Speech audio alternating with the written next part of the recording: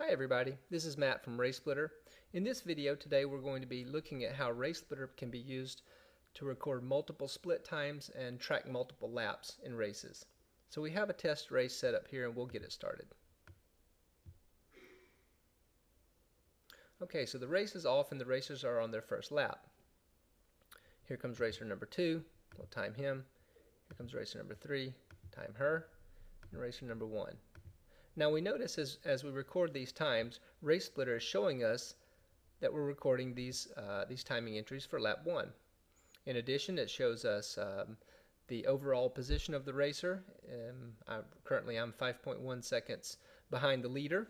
Uh, it also shows me that I'm in second place in my category, again 5.1 seconds behind the leader in my category. So let's imagine on this first lap that we've missed racer number 4. Somehow they they went by and we didn't time them. So the racers are actually now on lap two. So let's time racer number one again. The lap number updates to, to two. Here comes racer number three, racer number two. And now here comes racer number four. So we time them.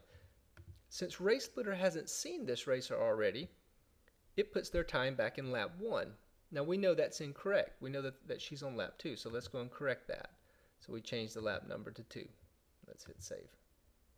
Now if we look at our standings, we see correctly that racer number 4 was not included in split 1, but they were included in split 2 right there. So everything's looking good. So let's take this opportunity to, um, to talk about a couple of ways in which laps can be used. In Nordic ski racing, for example, um, racers tend to, uh, the tracks are set up so that racers go around and around in laps. Coaches use RaceSplitter to track their racers, and on each lap they can tell them uh, how many seconds they are behind the leader. So that's a, a typical race in which real laps are used. Um, I've used the split feature myself, for example, uh, when timing a trail running race where I was stationed at the peak of a mountain and it was a point that racers went by twice. So they, they climbed up the mountain. I timed them. That was considered lap one. Then they went down the mountain, ran around a field, came back up the mountain, and I timed them again. Now, in that case, these weren't laps, but rather these were multiple intermediate times. But I was using the, the multiple split or multiple lap feature of RaceSplitter in order to be able to take more than one intermediate time during the race. So that's a, a, a different kind of use for, uh, for, for laps and split times. And most recently, we've seen that in the sport of paddling, people are also using the lap feature to um, as a workaround to support races that have variable start times. So what they'll do is they'll start the race, and um, then they will record the first time for each racer as their starting time. And then when they finish, they'll record a second split time for the racer as their ending time. Now, in that case, RaceSplitter can't show um, the actual elapsed race time for each racer, but what they'll do is they will export the results in, uh, in CSV and then make that computation offline. So that's even yet another um, unexpected uh, way that people are using the multiple lap and multiple split time support in RaceSplitter. Now as one final example, let's continue in this race here.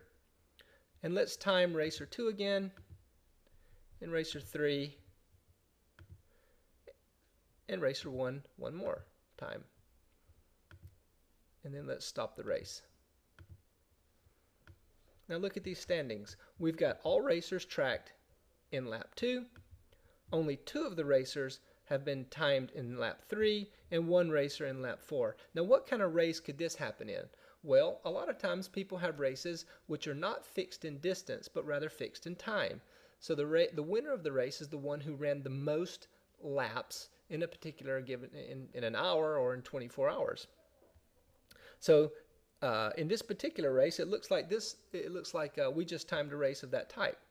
Now, if I published these results right now to the internet, if I went over here and I clicked publish and I sent these to racesplitter.com, the results would, um, for all racers, other than racer with bib number one, they would be shown as did not finish. So RaceSplitter would assume that anyone who was not timed in split in, in lap number four did not finish the race. Well, we can correct for that by going back to the configuration area and changing the race type to fixed distance. Now the only thing this affects in RaceSplitter is the display of the results. Now that I've changed this to a fixed distance race, if I go now and uh, publish these to, to, to, the internet, no racers will be shown as did not finished, but all of the racers will be sorted according to the number of laps that they actually completed. So uh, that's, a, that's another feature of, of RaceSplitter. Well, I hope you've enjoyed this video. If you have any questions, please go to help.racesplitter.com and uh, be sure to, to uh, send us an email through there. Thanks and have a good day.